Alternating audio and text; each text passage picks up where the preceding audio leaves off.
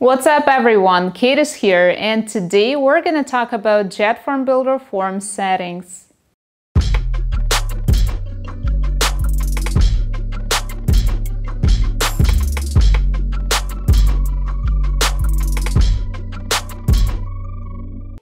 So guys, there are two types of settings that you have an opportunity to customize within the JetForm Builder plugin. First ones are the general settings of the plugin itself that can be found in JetForm Builder Settings tab.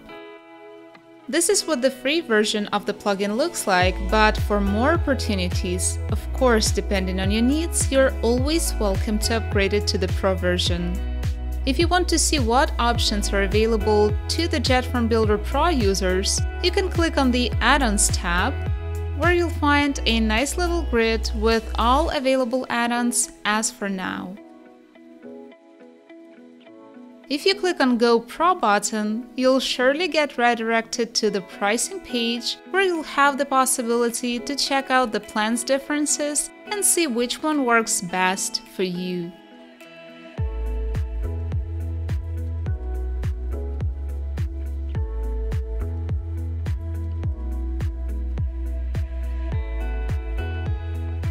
Going back to the Settings tab, here you have an opportunity to enable and configure payment gateways. This option will come in very handy in case you want to add payment methods to your website.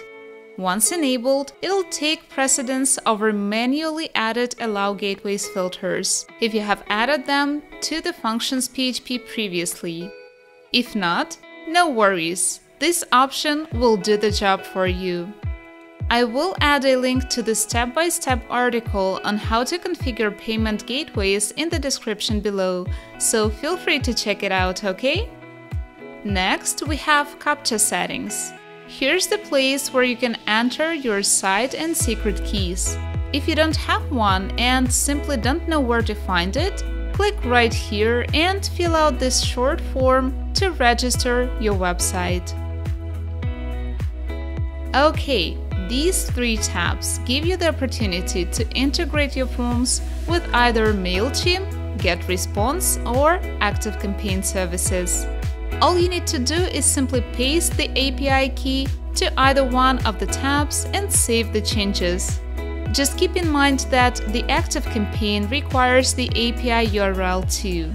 If you don't have the API key yet and don't know how to obtain it, here you have the lovely links to the original articles with detailed explanations on what to do. So these were the general settings of JetForm Builder plugin and now let's hop into the form itself to see what settings it has to offer. Click on Forms. Now either open one of the forms you've already created or click on Add New to start creating the form from scratch. On the right hand side, you'll see a Jet Form tab. Here's where the general settings of this particular form are located. First thing we see is status and visibility info, which is pretty obvious but informative, right? We need to open the Forms settings section. Here's where we can choose the field's layout, either column or row. So basically, if we choose column, the label will be placed above the field bar. And if we choose the row option, it will be placed in the same row with the field bar on the left hand side. Required mark symbol.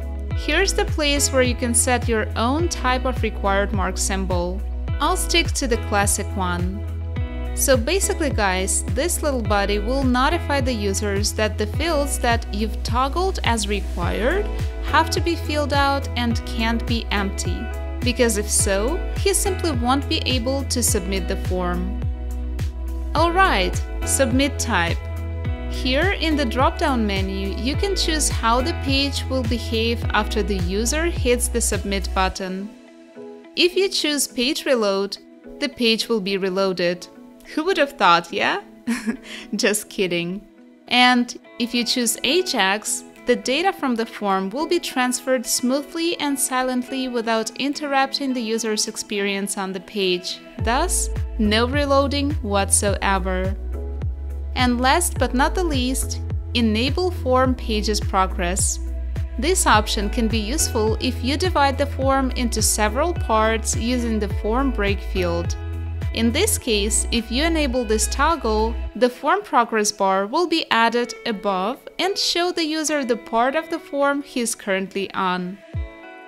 That's it! Thanks a lot for watching this video. Hope it was useful and informative for you and your projects. If you still have any questions left, drop them in the comments below this video and we'll be glad to answer. Have a lovely day and take care.